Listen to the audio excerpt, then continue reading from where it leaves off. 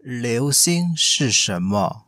夜空中偶尔出现有一闪而过的星星，那就是流星。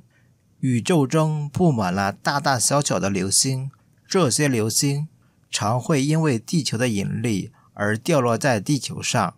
流星在高速掉落、穿越大气层时，会和大气层发生剧烈摩擦。引起燃烧，并发出耀眼光芒。流星的命运会如何呢？它们之中较小颗的，在穿越大气层时会被烧成灰烬；而较大颗的，如果没有被完全燃烧，就会掉落在地面上，成为陨石。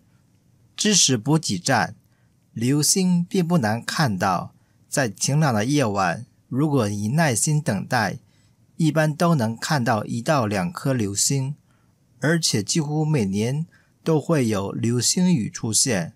想要看到流星的小朋友，一定要有耐心呢。